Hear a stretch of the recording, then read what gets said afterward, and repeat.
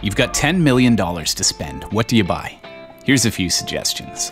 Number one, the most expensive board game on the planet. It's a chess set called Jewel Royale made of solid gold and platinum with nearly 1,000 rubies, diamonds, and sapphires. Number two, 46 seconds of Super Bowl advertising. It's running 6.5 million per 30 seconds.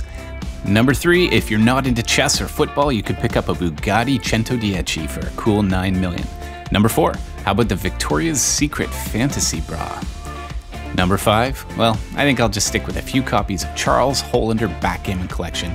It's got 61,082 diamonds layered into the board. So now you know.